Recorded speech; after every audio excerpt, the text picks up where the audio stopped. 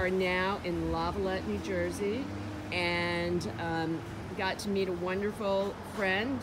And um, can you tell us your name and tell us a little bit about yourself? My name is Chris Stasinski. Uh, I was born here on the Jersey Shore, um, about 15 minutes north of here in Point Pleasant.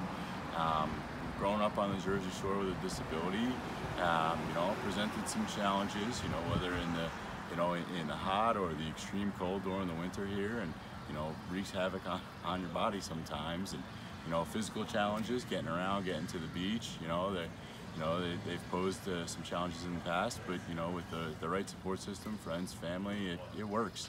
You know, grew up with a lot of kids in the Jersey Shore, and um, you know, they were willing to help out with, with whatever I needed. You know, throw me over their shoulder, carry me down to the, the water. Another friend, you know, carries my chair, and we, we make it work.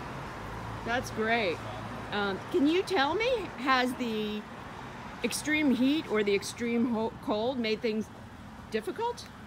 I, am a big summer guy. Um, I, I, love the sun. I love the heat. So I, I wouldn't say the heat as much um, as the, the winter. Mm -hmm. um, you know, I, I, don't mind getting wet during the summer, but um, you know, when it rains, but when, when it snows, it's it's very difficult to get around in a wheelchair, and um, you know, with, with, arthritis in the back and, and you know maybe in, in my elbows, um, the, the cold definitely definitely gets to you. So.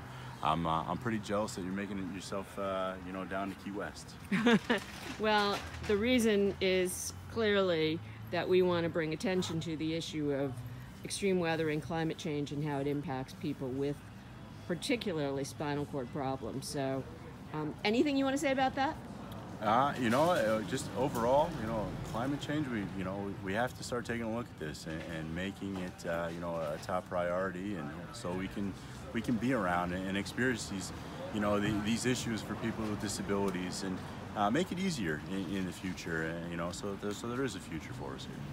Thank you so much. You have a great day.